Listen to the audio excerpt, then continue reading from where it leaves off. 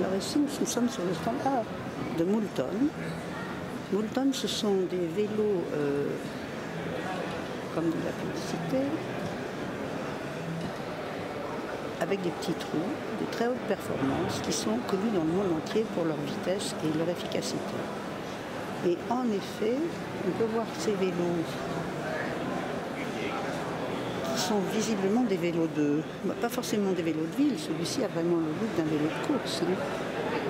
Et celui-ci aussi, le reste, ce sont tous les trois des vélos de course, ce ne sont pas du tout des vélos de ville. Je ne vois pas aller en ville avec des montagnes.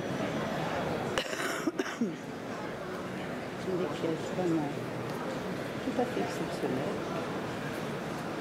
Alors, j'aimerais bien les connaître un peu. Je regarderai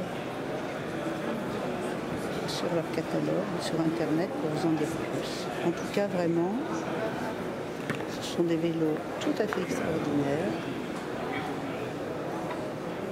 et qu'on aimerait vraiment tester.